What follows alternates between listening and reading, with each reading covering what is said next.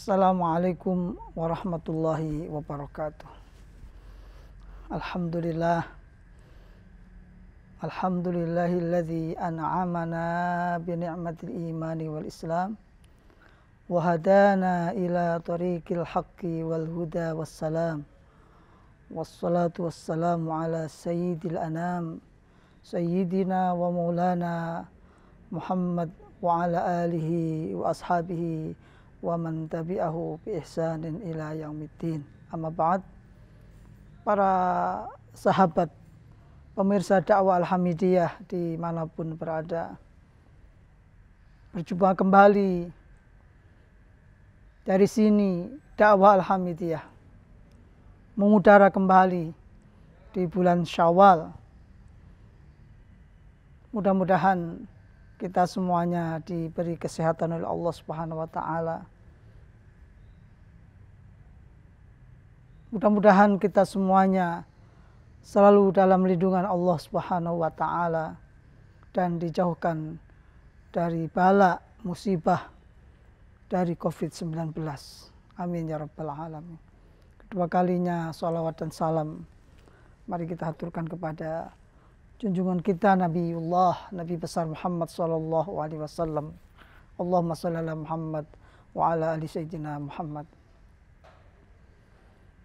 Sahabat pemirsa dakwah Alhamidiyah di mana pun berada. Kita telah meninggalkan bulan Ramadan. Kita telah berpisah dengan bulan suci, bulan yang selalu dirindukan oleh umat Islam di seluruh dunia. Dan sekarang kita berada di bulan Syawal.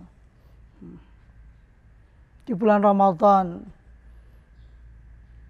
kita dipenuhi dengan memperbanyak ibadah, memperbanyak tadarus, memperbanyak sedekah, memperbanyak sholat malam, tarawih, kiraatul Quran dan sebagainya memperbanyak mendekatkan diri kepada Allah Subhanahu wa taala. Saat itulah hablum minallah kita perbanyak. Dan pada bulan Syawal ini kita juga dianjurkan untuk memperbaiki hubungan kita dengan umat manusia yang disebut dengan hablum nanas. Maka di bulan Syawal terutama bangsa Indonesia mempunyai tradisi yang luhur, tradisi yang baik dan bahkan tidak dimiliki oleh bangsa lain yang disebut dengan kegiatan halalun bil halali atau halal bihalal. Kalau kita mencari istilah ini dalam Al-Quran, tentu tidak akan kita temukan. Kalau kita cari dalam sebuah hadis, tidak menemukan istilah halal bihalal. Bahkan di negara Arab pun istilah itu tidak familiar dan tidak dikenal. Akan tetapi bagi umat Islam di Indonesia sangat familiar sekali. Setelah Ramadan, ada kegiatan yang namanya halal bihalal. Yang tujuannya adalah untuk menghilangkan, untuk meminta maaf kepada sesama manusia, kepada saudara, kepada sahabat, kepada teman, kepada guru-guru, pada ulama, kepada kiai, Karena pada dasarnya kita sebagai umat manusia tentu banyak salahnya, tentu banyak khilafnya. Apalagi interaksi kita, hubungan kita, habluminan nas kita, kadang-kadang dibumbui dengan emosi, dibumbui dengan ketegangan-ketegangan, dibumbui dengan mungkin saling menyakiti, dibumbui dengan mungkin ada unsur menghina yang lain dan sebagainya. Maka di momen halal bihalal di bulan Syawal ini marilah kita jadikan media untuk saling memaafkan. Media untuk saling menghalalkan dosa-dosa kita yang sesama manusia sehingga hilang.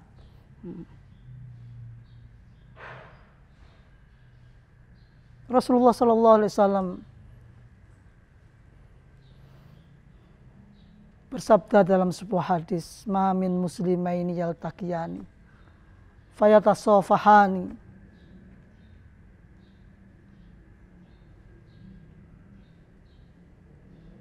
Ma min muslimaini yaltaqiyani fayatasafahani hatta yaghfirallahu lahuma hatta yatafarraqa. Au fi ma'manahu yang artinya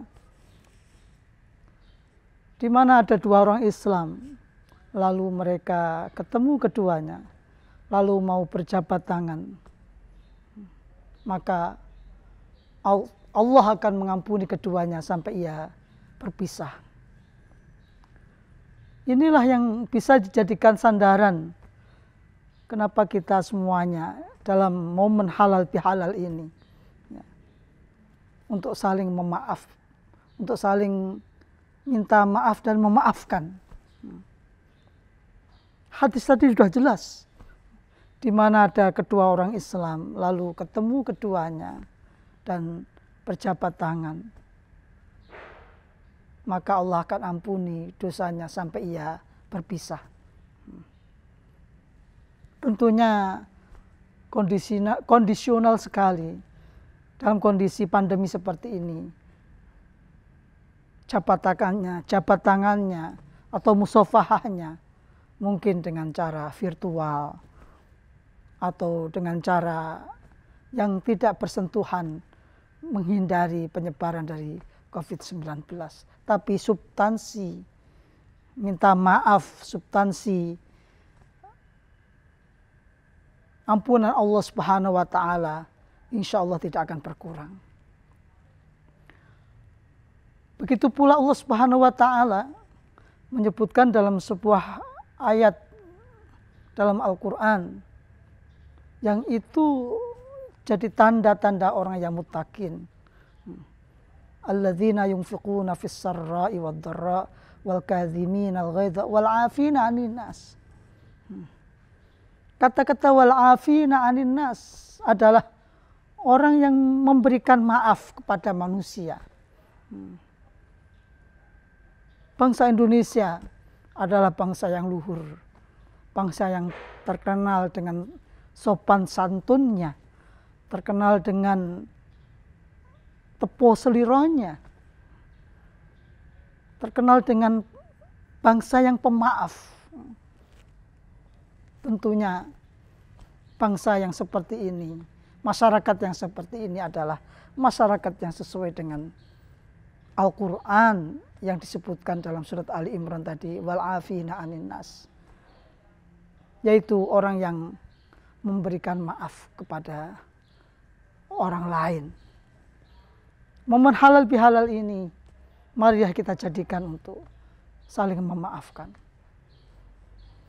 Dalam sebuah hadis Rasulullah Shallallahu Alaihi Wasallam beliau mengatakan kullukum banu Adam wa kullu bani adam khatta'un wa khairul khatta'in atawabun kalian semua adalah anak cucu Adam para pemirsa di rumah kita semua dan kalian semua para pemirsa adalah anak cucunya Adam alias manusia wa kullu bani adam khatta'un dan setiap anak manusia setiap anak cucu Adam mereka semua adalah khotoun, pernah berbuat salah. Pernah berbuat khilaf. Wa khairul khotoina atau wapun. Dan sebaik-baik orang yang berbuat salah adalah orang yang bertaubat, orang yang minta maaf, orang yang minta ampun. Kalau kesalahan itu, kalau dosa itu hubungannya dengan hablum minallah, hubungan vertikal kepada Allah Subhanahu wa taala, tentunya kita istighfar. Astaghfirullahaladzim, astaghfirullahaladzim, astaghfirullahaladzim min kulli dzambin azim, la yaghfiru dzunuba illa rabbul alamin. Kita minta ampun kepada Allah Subhanahu wa taala. Dan apabila interaksi itu, hubungan itu berkaitan dengan hablum nas, hubungan sesama manusia antara para santri dengan kiainya, siswa dengan gurunya, tetangga satu dengan tetangga yang lainnya, anak dengan orang tua, saudara-saudara dengan saudara-saudaranya yang lainnya. Hmm. Tentunya kalau ada kesalahan, baik disengaja maupun sengaja. Tentunya momen halal bihalal ini, di bulan syawal ini, kita saling memaafkan. Kita minta ampun, minta ikhlasnya, minta ridhonya, agar kita betul-betul kembali fitri, kembali ke suci. Pakaikan kita dalam kondisi dilahirkan oleh ibu kita dalam keadaan suci tanpa dikotori dengan noda-noda dosa baik dosa itu kepada Allah Subhanahu wa taala maupun dosa itu kepada sesama manusia. Hadirin para pemirsa sahabat dakwah Alhamdulillah. Itulah kiranya mari bersama-sama di momen halal bihalal ini di bulan Syawal ini sesama manusia, sesama anak bangsa ini untuk saling maaf memaafkan, untuk saling memberikan kata maaf kata yang luhur yang sesuai dengan Al-Quran tadi.